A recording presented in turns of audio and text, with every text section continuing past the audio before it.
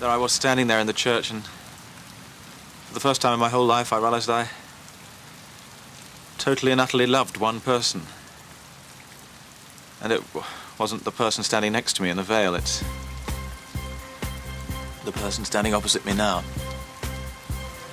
In the rain.